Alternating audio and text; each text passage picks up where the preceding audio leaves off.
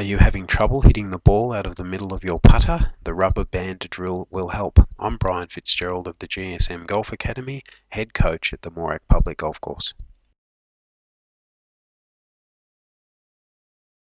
Take two thick elastic bands, wrap them around the club face of your putter with just enough space so that will fit a golf ball.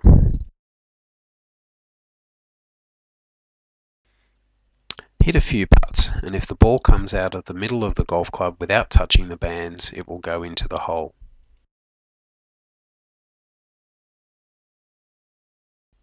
If you put a bad stroke on it, your ball will make contact with one of the elastic bands and the ball will shoot off at a strange angle. If at first you find this difficult, start with the bands further apart and then as you get better you can bring them closer together.